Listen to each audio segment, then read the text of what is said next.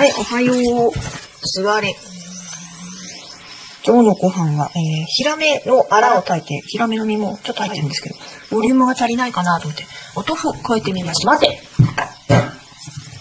よし。ガバガバ食べております。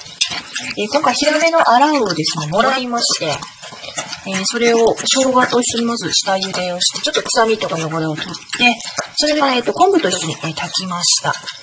その後に、え骨からですね、結構身がくっついてるので、身を全部外して、だしの中に戻して、えっ、と、人参とか大根を入れて、えー炊いております。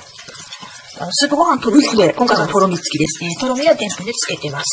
え仕上げに、えちょっとですね、ヒラメの身がそんなにたくさん、めちゃくちゃ多かったわけではないので、ボリュームが足りないかなと思って、絹ごし豆腐、えープラスしてます。美味しいんだね。え、ニコさん。待って。よし。ニコちゃんも同じご飯です。このニコも相変わらず良い勢いで食べております。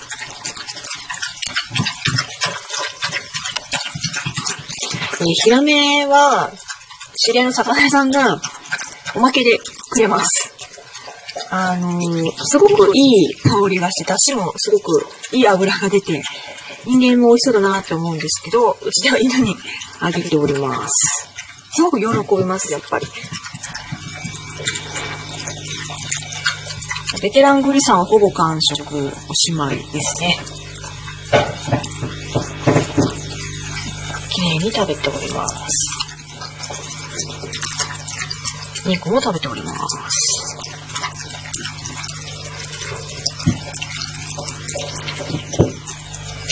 構魚系のものはうちの犬たち大好きで、あの、しつこく舐めてます。食べ終わった後も名残惜しそうに舐めております。グリ、食べた？美味しかった？まだ舐めてます。おしまい。